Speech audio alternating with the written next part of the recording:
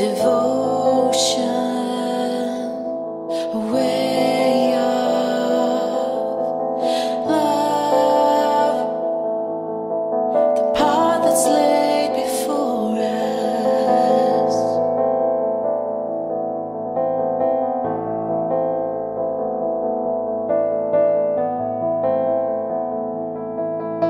us.